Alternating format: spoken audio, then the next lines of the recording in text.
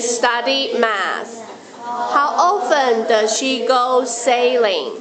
How often does she go shopping? Go shopping, yeah. How often does she watch DVDs? S. Watch DVDs. Good. How often does she send emails?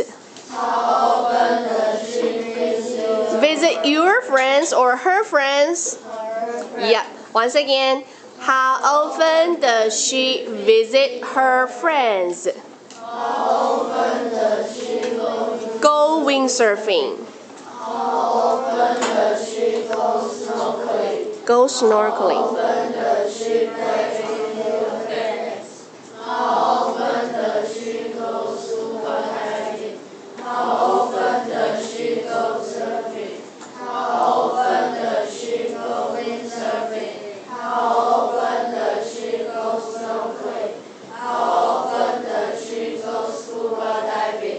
Very good.